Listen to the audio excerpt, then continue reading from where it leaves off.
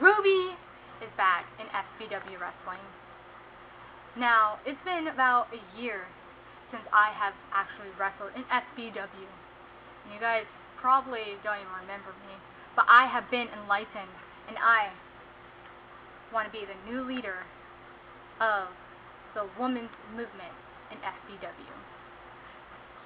See, women are not equal in FBW. They don't even have any woman in FBW besides me. We actually tried getting someone else, another female, to be in FBW, but she bolted because she could not handle the stress of being one of the only two in FBW.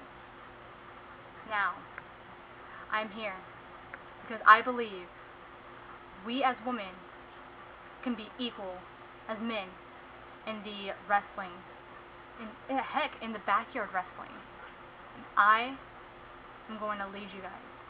I am going to be one that you guys should look up to because women are always going to be equal to men, and we're not going to be over, and we're not going to be under them.